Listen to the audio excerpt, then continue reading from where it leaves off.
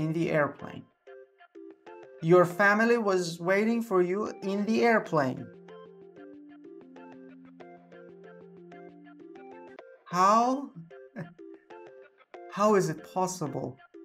Maybe the entire cabin crew is your family, like the captain and the first officer.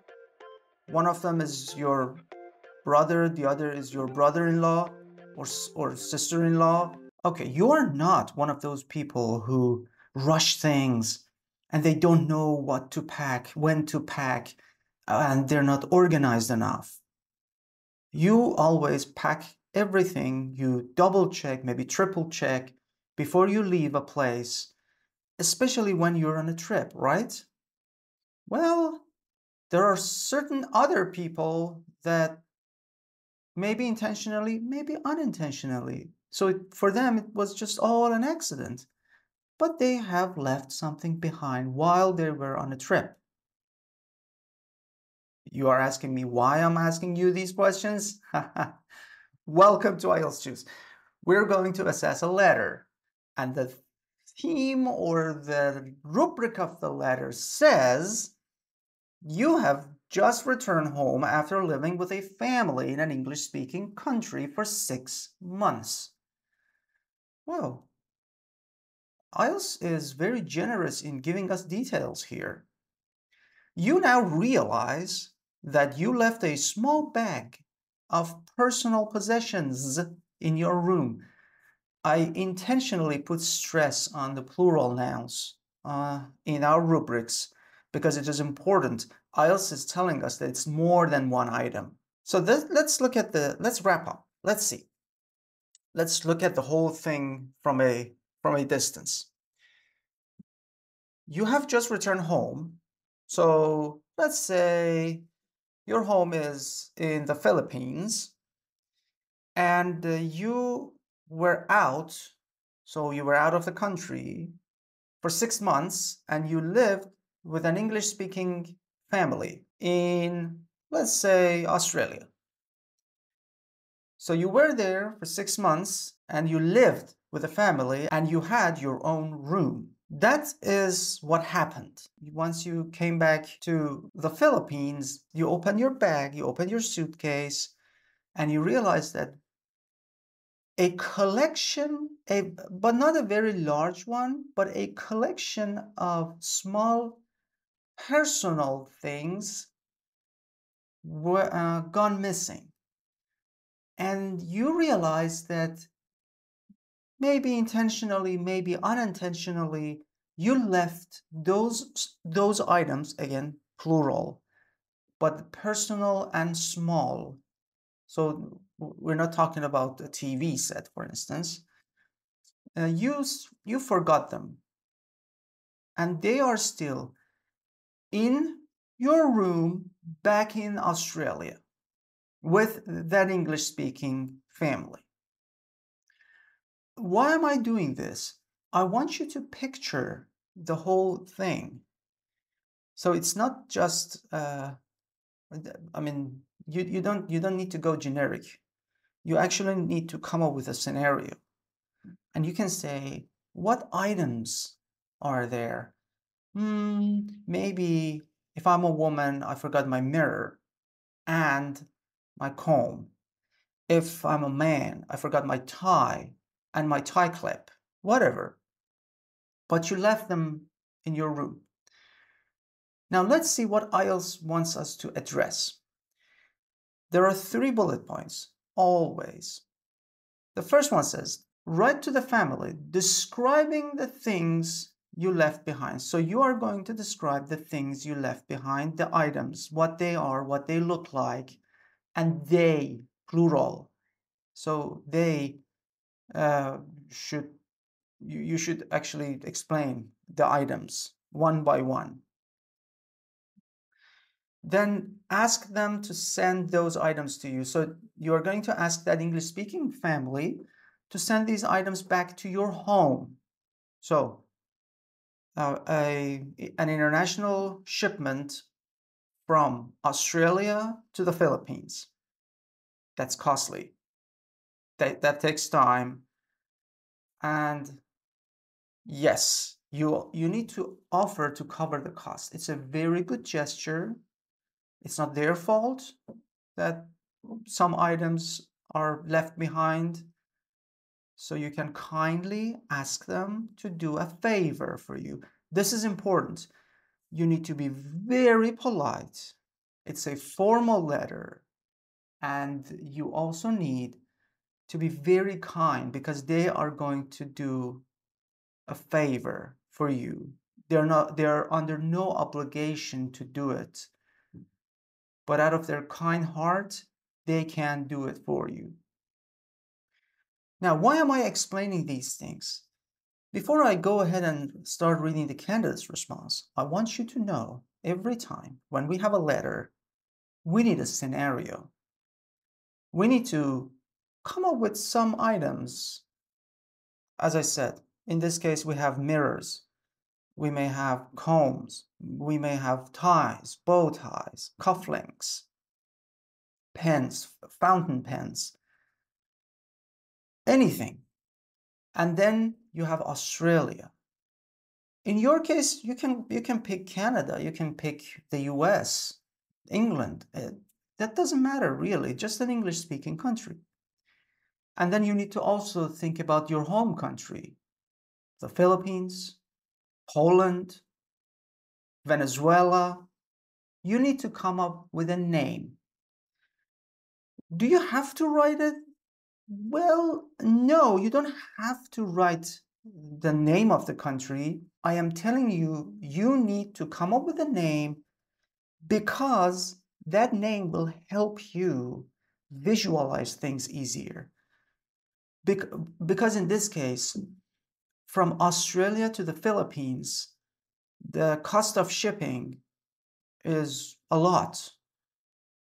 But let's imagine another scenario. Imagine that your home, home country was Mexico and you lived with an English speaking family in Texas for six months.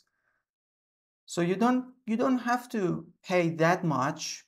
You can just ask someone to bring it from Texas to Mexico. It's not that far of a distance. But in, in that case, from Australia to the Philippines, you have to pay for an air freight. And that's expensive.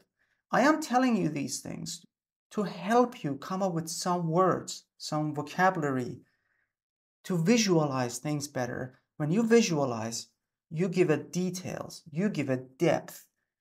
And with that depth comes words, sentences. You can come up with items and you can show off your range of vocabulary and your ability to control the English language and the English sentences in your letter. Let's carry on now reading the candidate's response. Dear Mr. and Mrs. Smith, very polite, very formal. That's a very good opening. I hope this letter finds you well. Good. Uh, this is again the tone so far is polite, is very appreciative. I like it. I don't know why we have a new line here. There is no need. This is not necessary. You can start your first paragraph. This is not a paragraph and you don't need to write anything like this in a letter. Yesterday, I need a comma after yesterday, I finally arrived home. So this this word like finally sounds sounds to me like you you have been on quite a journey home maybe you walked home you or you if your english speaking country was the UK and your home country was Poland then you would technically be on a train for a few days to get to Poland Yes. In that case, I when you say I finally arrived means yeah, it's been two days or so that I've been on a train and I have finally arrived. I, it makes me a little doubtful why we have the word finally here. It's a bit weird. Unless there's an explanation, and I already told you some explanations. While my family were waiting, you can say my family was waiting, you can say my family were waiting. Usually it is was in the airplane. In the airplane. Your family was waiting for you in the airplane. How? How is it possible? Maybe the entire cabin crew is your family, like the captain and the first officer. One of them is your brother, the other is your brother-in-law or or sister-in-law, and then you have uh, the flight hostesses or flight hosts. They are somehow your relatives and then you had this air bridge you you were walking down the air bridge and everybody was on the plane shouting saying i mean welcome with a banner welcome to the plane i'm joking of course the writer meant airport not airplane it was fascinating seeing them after 6 months I bet it was. I bet it was. Today, good. That makes sense because you spent one day at least greeting your friends and family members, mostly family. And uh, maybe you had some souvenirs and uh, they cooked some meals for you. You, you, you had, you, you know, you, the routine, you chatted, you talked, you had a good meal, you had a good discussion after six months, physically seeing each other, people comment on each other. You look taller, thinner, fatter, whatever. You know, that sort of conversation. Anyway, today, when I opened my luggage, I understood my small handbag was left in my bedroom.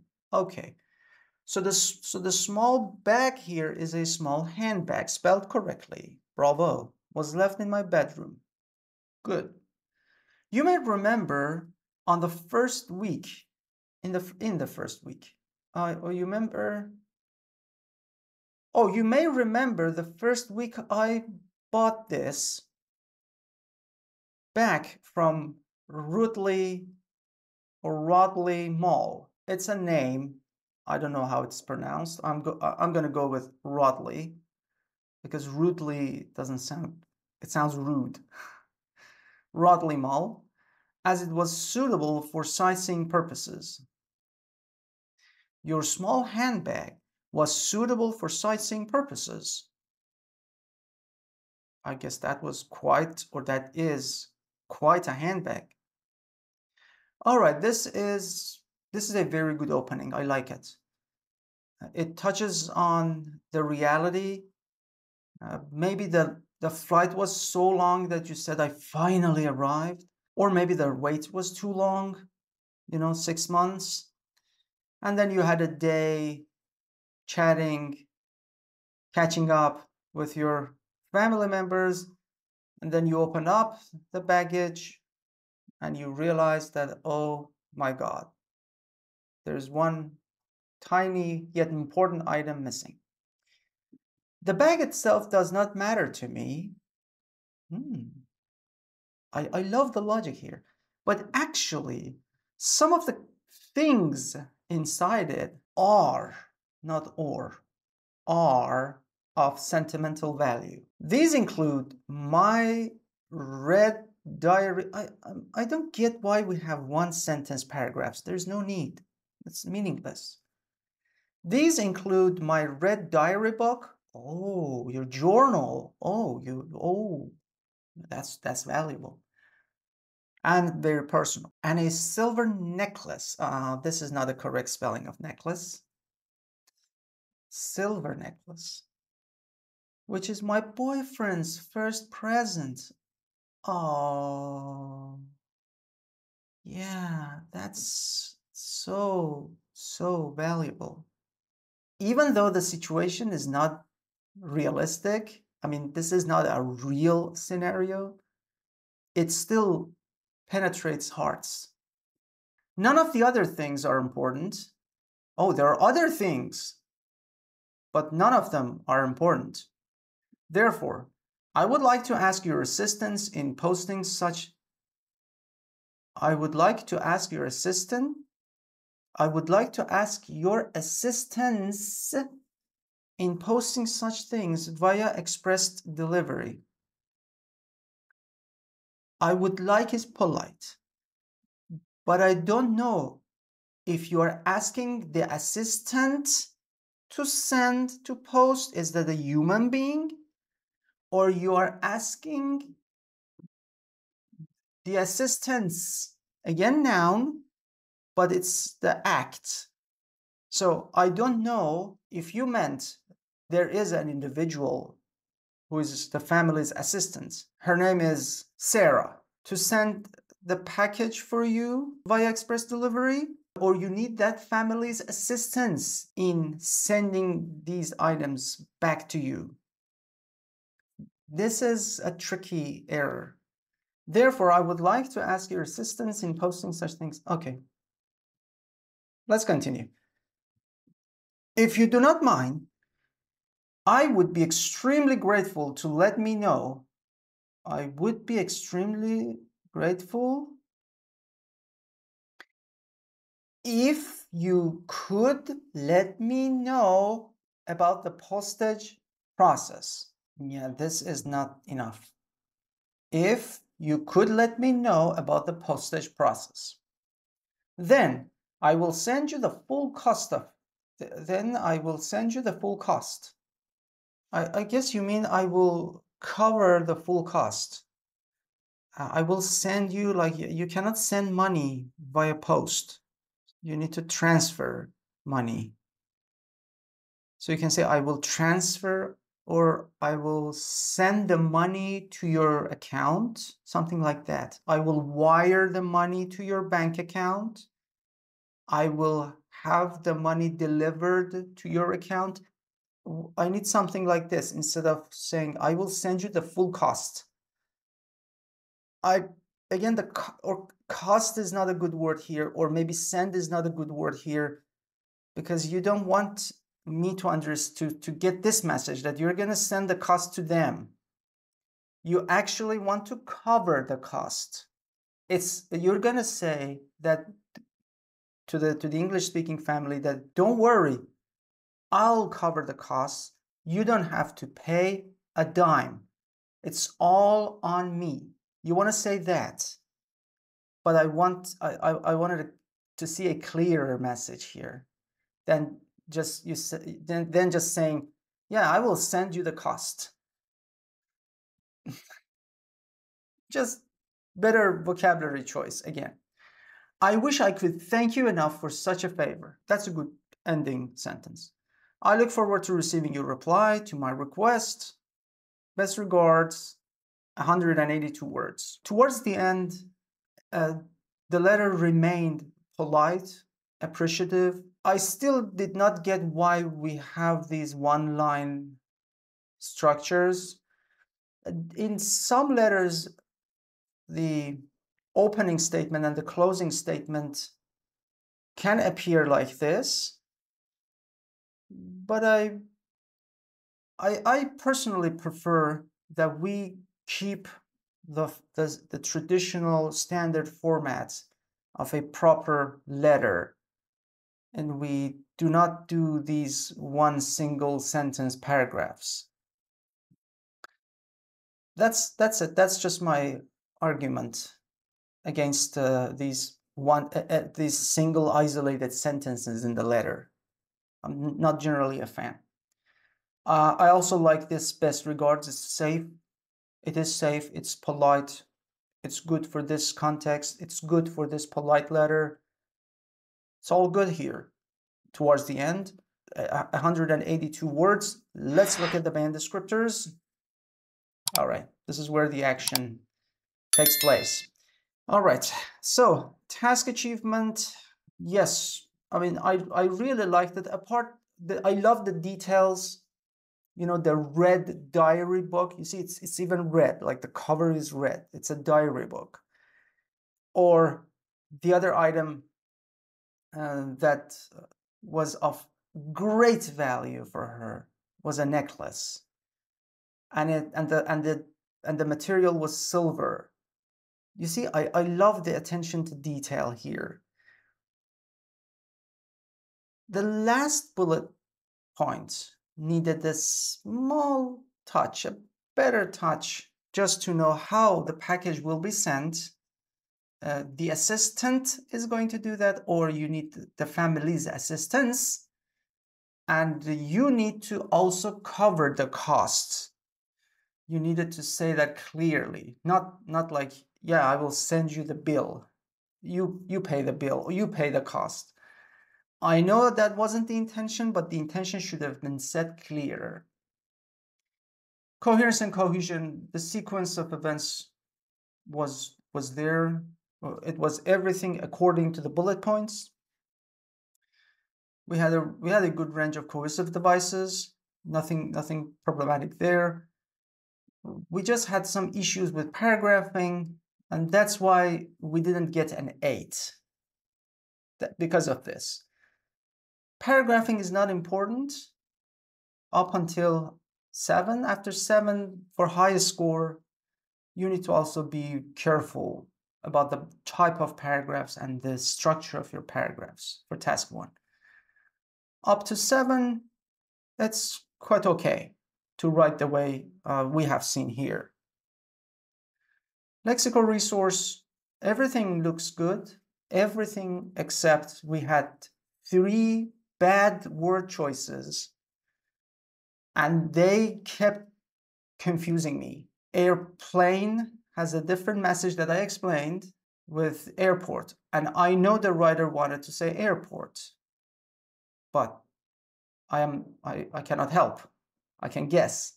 I'm not the writer, I just read. The other one, the or are, which was a verb. If we miss verbs, if we somehow screw up the verb, oh, it's going to be very damaging. Subject and verbs are the two most important elements in an English sentence. And if we screw up one of them, that's already bad. And finally, towards the end to cover the cost. We didn't know what that was. Or, oh, assistant and assistance. Oh, that was problematic too. So, four instances. One of them was enough to confuse me. One of them for five is enough, and we had four. Grammatical range and accuracy was quite okay. The range was fine, and we had some we had some structures, some uh, second conditionals, but elements were missing but they did not confuse the reader. I mean that that that's it. That's basically the sentence. Yes, that's an error, but we, we didn't we had only maybe one or two very rare grammatical errors. Maybe one punctuation, we needed a comma or two. So all in all, yeah, 6.5 is a, bit on the border. I mean, this uh, this letter cannot get to seven this easily. I know your letters and emails, these days we send emails, will not confuse your readers because you're going to implement the things you learned from this letter and all the other videos that you can watch here and the blog posts that we post on the website, on the, on the IELTS Juice website and all on and you read all of them, you know what to do on your next letter, emails, or maybe essays.